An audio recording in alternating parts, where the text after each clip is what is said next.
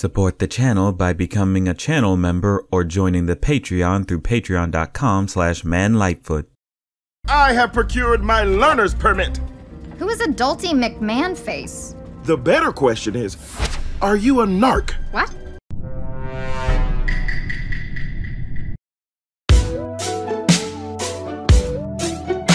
So DreamWorks dropped their latest installment of their more recent franchises, Trolls Band Together, third in what became a runaway hit trilogy based on the old toys that gave plenty of kids nightmares. To be honest, at first, I didn't think there was much to the Trolls franchise when I saw the first movie, but as you saw with my Trolls 2 video, I got proven wrong. It sucks you in with its charming style and flair that you can't help but love it. Not to mention the music they put their trussies into. What? The movies are very unashamed to be as goofy as they want and you have to respect them for it. These movies clearly strike some type of chord with people and the third one is no exception. I didn't know what to expect out of this movie when I saw the trailers for it. The second movie got me way on board for the franchise with improving over the first, so the third did have some shoes to fill. Does it keep the streak going? Well, I feel it exceeds pretty well by mainly being the one that basically doesn't give a crap in all the right ways. So what happens to our favorite trolls in this one?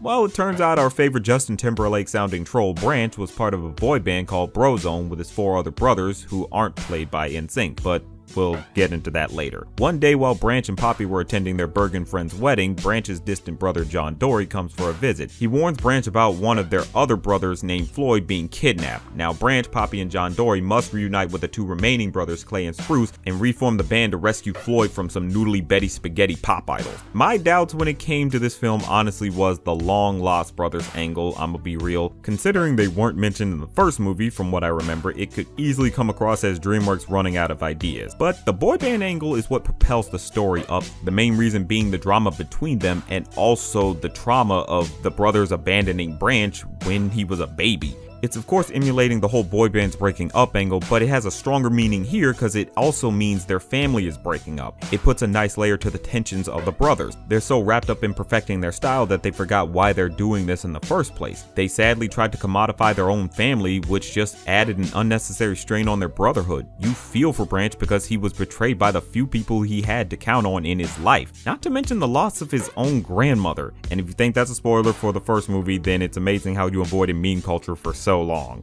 Yeah, I'm willing to bet you didn't think there was some complexity when it comes to the Trolls franchise of all things, but like I said in the second one, this franchise has some secrets up its sleeves. Now, is all that said intentional in a movie where sucking a pacifier is considered taking a hit?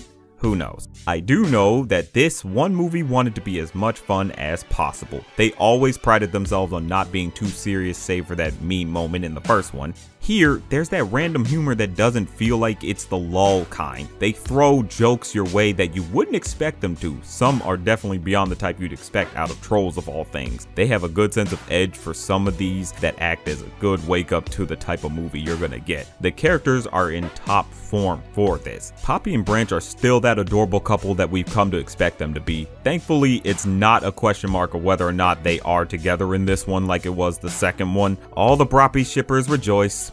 but obviously their dynamic is cute with how it's done. They act more settled into each other by this point in the franchise. You get a feeling these two are partners in crime and they are adorable for it. I really love how much they have Poppy fangirling over Branch and Brozone in general. It's just so freaking adorable. There's just all these little quirks to how much she can just be such a fangirl and it's just great. She's just a little ball of energy that you can't help but chuckle a bit at her quirks. Branch is down to earth as always, but still a big dork. He still puts on the facade of the guy who's trying not to care, but obviously does. It's put on here, but because he's masking away from his brothers. He doesn't want to let himself be tricked into thinking that his brothers are back and things are going to be all happy again. Their dynamic plays out pretty well with them being the bickering brothers and all. You do feel bad for how things turned out for them and wish they make amends by the end. The brothers themselves are pretty good with the fact that they all feel fairly distinct from each other. You won't get a feeling of, oh, they're just the boy brand that I just don't care about either member of. You actually can tell which one is which be it design wise or just how they carry themselves. They have that boy band trope slash joke of them being generic personality types, but of course there's depth to them. That's what helps make them interesting. You can distinguish between all of them pretty well. I mean, just how much the fans talk about each one of them individually makes it clear they're pretty distinct from one another. Though, I will say it annoyed me to find out that the brothers weren't played by NSYNC. Literally a missed opportunity that just felt like it was right there. But don't worry, you still get your NSYNC reunion, it's just not in the way you think they would go for. Now, there's a certain character that they introduced that was spoiled pretty heavy in the trailers. Viva is Poppy's long lost sister, and I can just blurt that out because they really didn't care to hide it in the trailer. I mean, it's made obvious in the movie too, but you know, Give me some mystery, damn it. Viva is a good, fun character overall. She kinda is just Poppy, but bigoted. I'm leaving it at that. Gotta leave y'all with some mystery to her since the trailers dropped the ball. I will say her story is done well to get across the message they were going for. Bridget and King Gristle make a return from the first film after being left behind in the second one. These two are adorable slash funny. They're just that newlywed couple that's living their best life. Bridget taking the lead gets so many good laughs from me. She just carries herself with the vigor of someone who got what she wanted and is just cruising through life now. Gristle is just along for the ride and you cannot blame him him. The man just looks so happy traveling around with his girl. It's great to see them return and add some good jokes to this movie. And they even play a good part in the story overall, and it helped the message stand stronger. Now, if you told me there were gonna be Betty Spaghetti like villains for this third film, I would have told you that's normal.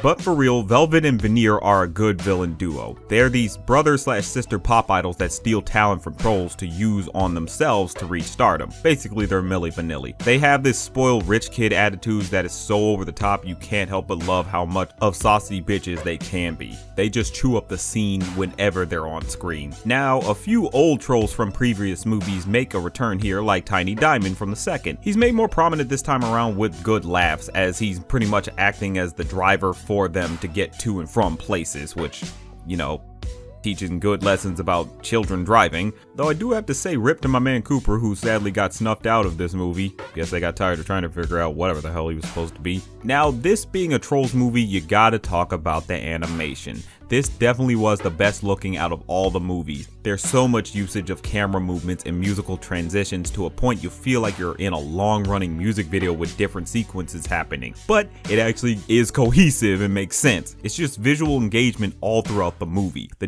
detailing on the textures makes you want to touch every surface. They utilize unique looking characters heavy with all the different character designs they have, from regular trolls to Betty Spaghetti to even puppetry crazy enough the money is always on screen as you watch. This one I think is the one they wanted to really flaunt what can be done with 3D texturing and camera movements and honestly it pays off very well. The music has always been a strong point for this franchise and there's no exceptions here. The way they transition into different melodies and tempos is just flawless. You're gonna get these songs in your head especially with it being a jukebox musicals like always. There's use of old songs and using new lyrics or mixing lyrics to add a layer to them that makes it seem like you just discovered these old hits for the first time. Overall, this is a great third installment to a franchise that knows how to improve each time. I have my doubts when a new one comes out whether or not it can be good as the last one and it goes past my expectations. The characters are all fun and enjoyable to watch, you get good humor from their back and forth as much as you would from the big visual gags they have. There's a hint of edge to it that gives it a tinge of grit. The music is infectious with how catchy it is and energized it can be. It's an absolute visual treat you'll want to give yourself. This movie pretty much solidified another strong trilogy for DreamWorks. This movie was just pure unadulterated musical fun and that's one tune we can sing along to.